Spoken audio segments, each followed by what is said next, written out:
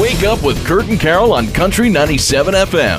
Fueled by Force Power Sports with two locations, Prince George and Quesnel, and online at forcepowersports.com. It's not quite time to lock up your sled.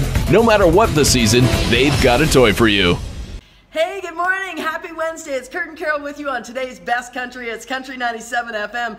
Holy wind, Batman. Not a great hair day if you're getting ready for work or school. It is blowing out there, but it is a good school day for the kids as 65,000 has been injected into the schools here in town. That's SD 57 alone. We're hearing it's mostly going to school supplies, but whatever the schools need, really. We're also hearing about another school opening, or should I say, an old school reopening. Yeah, Springwood Elementary. That's pretty cool. That is cool. And don't forget, wherever you're going, you can take us with you. Radio Player Canada.